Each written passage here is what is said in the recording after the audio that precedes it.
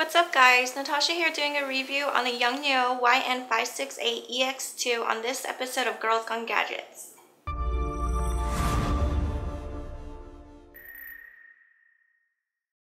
This is the 568EX2 Speedlite.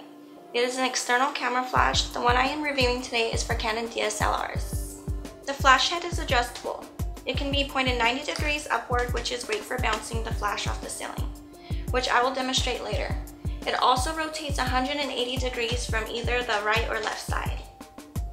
It has a PC sync port on its side, but keep in mind it's a 2.5 millimeter size port. This gives you the ability to trigger the flash off camera. The other side has the battery compartment. Simply slide the battery door down to insert batteries. On the bottom is the metal hot shoe mount. To lock into place, simply spin the fastener to tighten. On the back, you will find the LCD screen. It is a good sized screen with large enough fonts to read. It is easy to read in light. It also is backlit, making it easy to read in the dark. You will also find the controls on the back below the LCD screen. The buttons are backlight, mode, high-speed sync, zoom, pilot, and power. It also has a control pad similar to a video game controller's D-pad, which is used to adjust settings.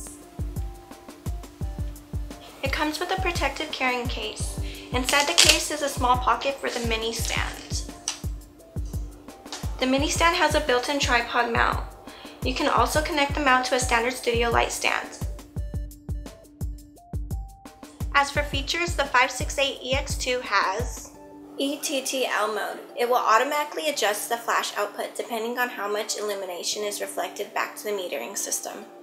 It has flash exposure, compensation, and full manual settings. It has a built-in white bounce card along with a wide angle diffuser. It has the focus assist beam. This feature is great when taking photos in low light. It temporarily projects red beams on the subject to help focus. It beeps when the flash is ready. This is especially useful when using the flash in a softbox or behind an umbrella. You'll know when it's ready to fire. It has zoom, which is helpful when shooting subjects that are far away. It also has high-speed sync, which is great for shooting photos at higher shutter speeds. Rear curtain sync, which is great for getting the trail effect on lights like cars for example. It can be used as a wireless flash with another YN568EX2 or compatible flashes. You can set one as the master to trigger the flash which is called the slave. I will now do some test shots with and without the flash. This is a test shot with no flash. This is a shot with the flash on. This is a test shot with the flash pointed directly at me. This is a bounce flash shot. The flash is pointed directly at the ceiling. Notice how differently it is cast on me on both shots. The first shot is without the flash. Notice how the camera is affected by the light. Everything around the light is dark.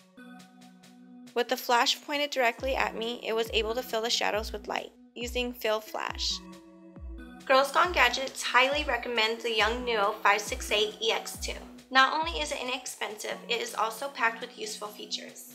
We recommend it to those who are just getting into photography, and to professionals who use multiple speedlights for strobe photography. If you'd like to see more of me here on Girls Gone Gadgets, please like and comment below.